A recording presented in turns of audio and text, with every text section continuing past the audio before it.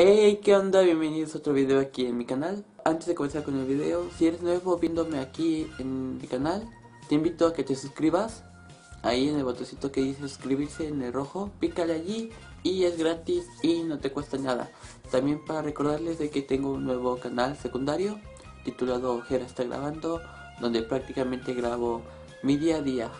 Apenas comencé esta semana, bueno este fin de semana, y espero nos vaya bien. Gracias por su apoyo, ya somos 21 suscriptores, la verdad muchas gracias. Y bueno, después de mucho tiempo, hoy toca hacer la reseña, opinión o revisión de el manga de Dragon Ball, el tomo 8. Y pues comencemos. Y bueno, aquí podemos ver la portada de Dragon Ball.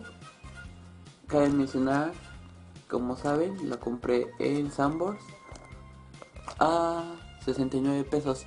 Pero en su página oficial de Facebook de Panini Manga anunció de que para el próximo año ya no van a costar 69 sino a 75 pesos. La verdad a mí me molesta un poco ya que le van a ir subiendo poco a poco. Muchos ahorita dicen, ay que son 7 pesos los que subieron. Pero después va a ir subiendo poco a poco hasta llegar a 100 y no, pues no. Esperemos si se quede a 75 hasta que terminen todos los tomos. Ya que imagínense, empezó a 69 pesos desde el tomo 1 y son más de 40 tomos. Van a terminar costando 150, pero pues esperemos si no suba el precio. De este lado podemos ver la contraportada que es igual a la de siempre. Aquí, aquí podemos ver en el lomo Panini Manga, Dragon Ball, el número 8, Akira Toriyama y parte de la R, una esfera y ahí se alcanza a ver Krillin. Abriendo el manga podemos ver la portada con Goku, un, comentario de Akira Toriyama, los personajes, aquí agregan a Upa, a Bora, a Tao Pai Pai, a Comandante Red, a General Blue, creo que sí ya apareció en el tomo anterior, y a Asistente Black. Aquí vemos a los personajes principales y un previamente de lo que ha pasado. Aquí podemos ver algo distinto que dice Mokuji, que significa índice, ya que siempre aparecía el título de índice, pero esta vez le pusieron en japonés y la verdad se me hizo muy interesante y ahí pusieron a Olong.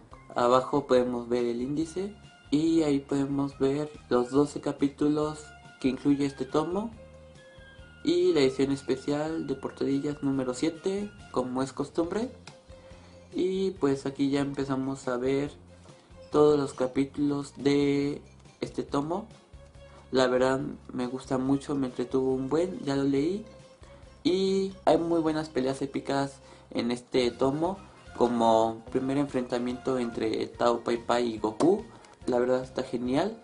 Luego cómo va a entrenar Goku con el maestro Karin, que la verdad se me hace muy chistoso ese personaje. Aquí por primera vez vemos la semilla de ermitaño, a cualquiera le gustaría tener una semilla del, ermitaño, ¿verdad? Para poder sanarnos de cualquier cosa.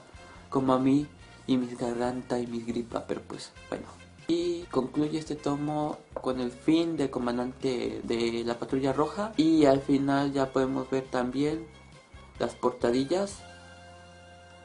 La verdad muy buenas ediciones. Podemos ver la sección de Akira Toriyama y respondiendo a los mensajes o comentarios de los fanáticos y la última página de advertencia que estás leyendo al revés el manga. Y bueno, eso es todo por el video de hoy. Espero que les haya gustado. No olviden suscribirse y seguirme en mis redes sociales que están apareciendo en pantalla. Gracias por ver, de verdad, muchas gracias por ver, por todo el apoyo, la verdad. Me gusta como mi canal ya está aumentando de reproducciones, la verdad. Muchas gracias a todos ustedes por apoyarme. Y sí, eso es todo por el video de hoy y nos vemos para el siguiente con otro video. Adiós.